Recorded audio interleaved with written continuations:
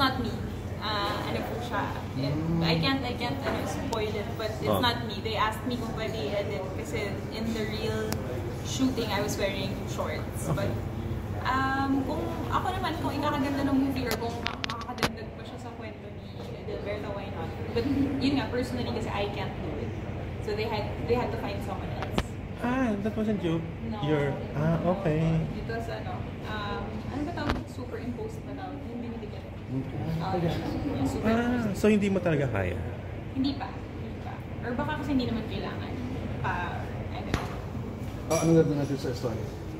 Mamamasyal pa. Hindi, Siyempre po, it's a film festival again for, uh, we're representing, again, the Philippines for Rebels with a Cause Russian. in Tallinn, in Estonia. Ayan po. Ganda rin. Yeah, it's my first time. And I'm flying alone tomorrow. The Alone? call will follow, I think, after four or five days. Ah, so mag-explore ka? Yeah, Wow. mag-ikot muna ako. Baka mag-Finland din ako for a while. Oh. Bella, uh, describe ka ni Direk Paul na strong. Strong ka rin ang person. Hindi ko alam. Yeah, I think in general, I'm a strong person. Merong moments, syempre, may mga once a year ako naiiyak ako ng very, very light. Pero ano na lang yun, yung iiyak ako kasi may gusto akong gawin or may gusto akong kainin, hindi pa, ganun lang kababaw. Doon ko linalabas yung iyak ko. Hindi, hindi dahil may problema ako. Yun, oh, baka naman strong. Baka naman strong. Bella, pang ilang international film fest may Tokyo? Ah, third po. Ah, third na. Yes, What, third. what was the first?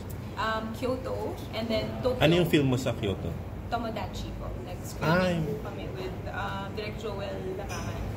Okay, and then? And then Tokyo International Film Fest ulit for iAmerica. Ah, okay. And then third to, Tokyo pa rin. Tapos nakita mo si Zhang Ziyi. yeah, grabe ang ganda niya. Ganyan lang yung face Hindi pwede lumapit, hindi pwede chumika. Pwede naman siguro. Ah. Hindi ko lang, hindi lang ako naglakas na loob. okay na ako doon sa gilid. Sino pa? Alicia Vikander was there.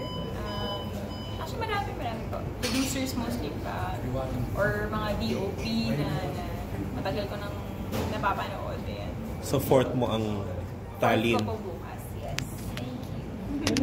Yes. Sa PWD, ah, yung tinanong ka doon kung pwede Yes. to work. Yeah, why not? Why not? Um, I'm not sure if, if she she does movies right now, or, but yeah, why not?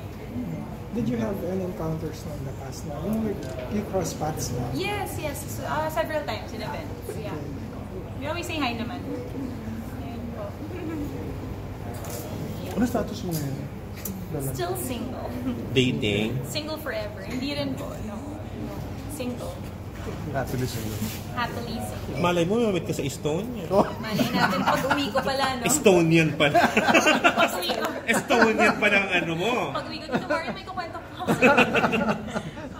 Baka naman. Ipopost ko agad-agad. Open ka doon, Bel, sa ano, medyo foreign. Actually, parang feeling ko nga baka mas Yun ang bagay sa'yo, Oo, di ba? Kasi very, ano ako, di ba pati magsalita, very straightforward, or very, uh, very opinionated. Correct. So, baka naman. At saka may lahi ka naman din talagang ano. Nananawagan ko sa mga taga-Estonia. ang pila po sa audience entrance. Alam mo, 85 p.m. Ano, Hanapin, oh, be careful what you wish for, joke ha? lang po. Hindi, mali mo. Hanapin niyo po si Mel, 3 to 5 p.m. Showtime pala. Nag-show pala ako sa Estonia. Pwede, malay mo. Iwan po natin. Never know. naman- wala pa naman siya sa Ready ka listahan. ba sa LDR if ever? Ready ba sila? Hindi ko po alam. Tignan po natin. Okay. Thank you. Thank you, Bel.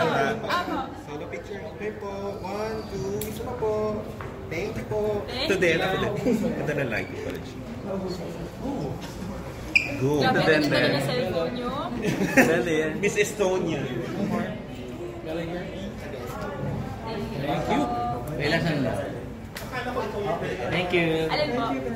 Ito po sila record.